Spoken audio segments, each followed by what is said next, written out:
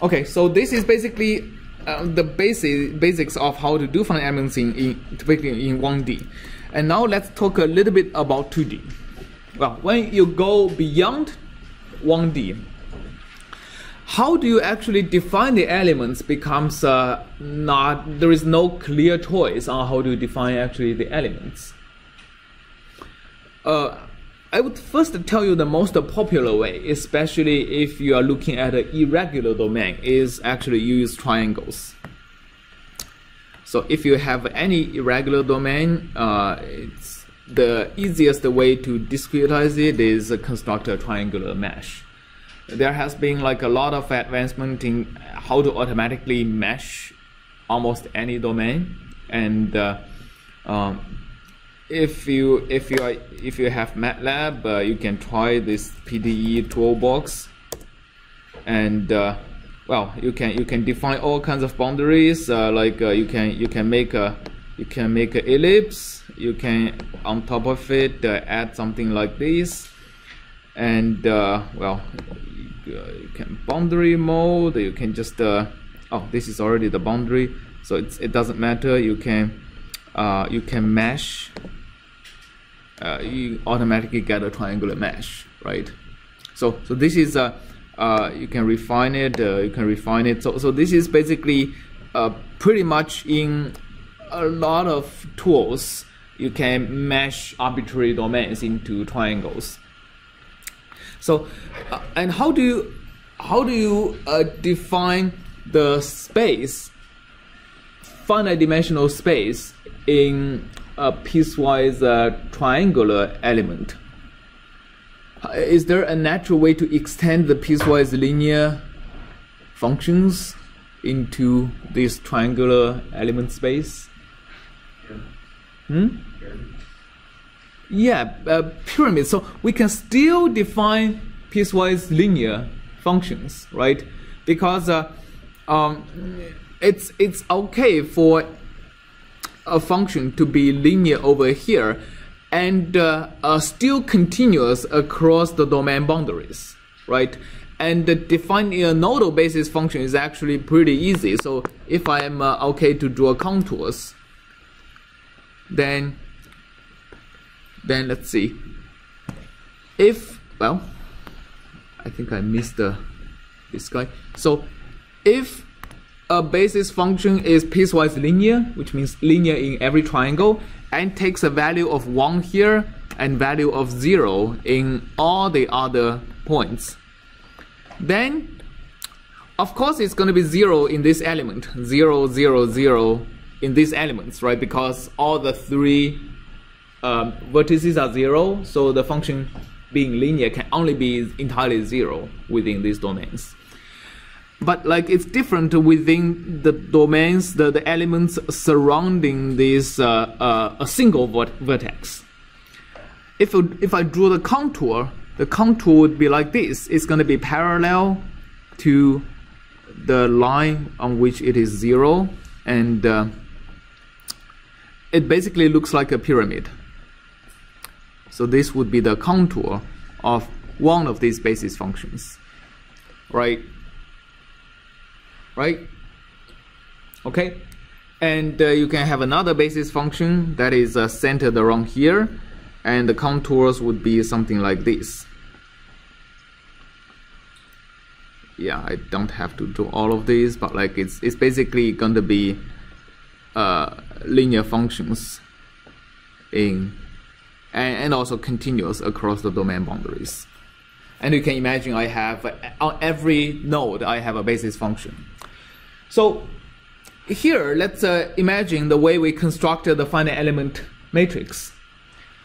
Let's focus on one of these elements. For example, focus on this one.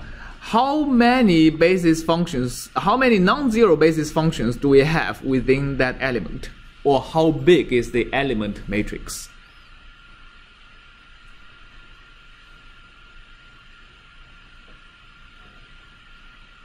Nine? Why nine? Yeah, there are actually three basis functions in which the function is non-zero within that element, right? So so one is here, one is here, one is here. A triangle has three vertices. So three elements and it's a three by three element matrix. And the task of uh, constructing the big finite matrix is to figure out how which row and which column, which corresponding, which are the rows corresponding to this vertex, this vertex, this vertex, and I'm gonna insert the rows and the columns of this three by three matrix into the big matrix. And I loop over all these elements and uh, add the corresponding entries of the element matrix, and I have the big finite element matrix. All right, so that's one of the ways to do it. Another popular way to uh, discretize a two-dimensional space is what we are going to encounter in our project.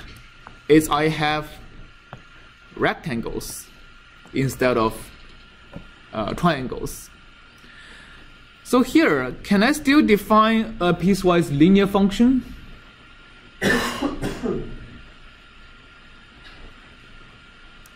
I can, but like uh, then it is not clear how to construct a nodal basis anymore. Okay, because it, what if I want this node to be one and all the rest to be zero? Is there a piecewise linear function that can accomplish this? No, right? Because uh, the the the uh, if I have a linear function in this in this uh, uh, square, in this triangle, in this rectangle, then these three numbers is going to already determine the contours of this, and then the value of this has to be minus one as opposed to be zero. Right? So there doesn't exist a piecewise lin linear function that allows me to construct a nodal basis. So because of the convenience of the nodal basis, we usually adopt a piecewise bilinear function. A piecewise bilinear function means it is linear in this direction, it is also linear in this direction, but I would allow a cross term, or x times y term. A piecewise bilinear function is, uh, well, a piecewise linear function is only going to be like uh, a plus bx plus cy, so that's uh, linear. A piecewise bilinear allows the additional term d times x times y so that this is linear in x, also linear in y, but not linear in the uh, combination of x and y. Okay, so so this is uh, uh, what makes uh, it possible to define a piecewise, uh, define a nodal basis for uh, rectangular elements. All right, so uh, uh, uh, of course, uh, tricks like this is just going more and more uh, as you go to three dimensions. And the most general and complicated finite elements are in three dimensions, but not discretizing three-dimensional domains. So things like shells, a lot of the structural calculations involves thin structures, right? For example, if you want to to find elements of how uh, your clothes would behave. It, it's uh, it's uh, actually a lot more efficient to discretize uh, uh, thinking about your clothes as a, a two-dimensional two-dimensional geometry living in a three-dimensional domain. Also in aerospace industry, a lot of because airplanes has to be light, a lot of the structures are very thin uh, shells so so they, then um, that's that there is a lot of complexity in all of these uh, curved uh, elements that are 2D but lives in a three-dimensional space.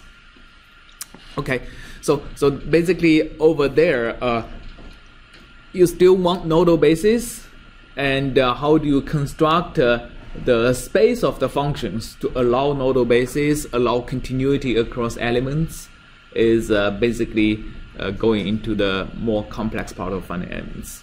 Okay, but here, um, this is the two most popular ways of doing finite elements in, in two spatial dimensions.